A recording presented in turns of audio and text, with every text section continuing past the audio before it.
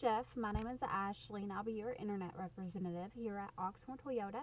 It has come to my attention that you are interested in a new 2015 Highlander.